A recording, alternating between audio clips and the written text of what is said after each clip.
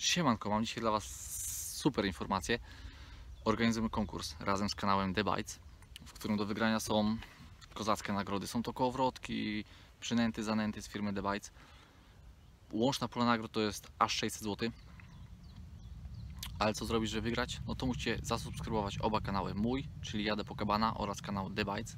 Postawić komentarz pod tym filmem konkursowym oraz pod filmem konkursowym na kanale The Bites i dać łapkę w górę pod tym filmem i pod tamtym.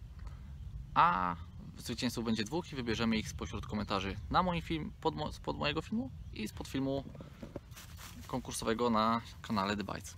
Więc wybierzcie się do roboty, a ja lecę na ryby. Nara!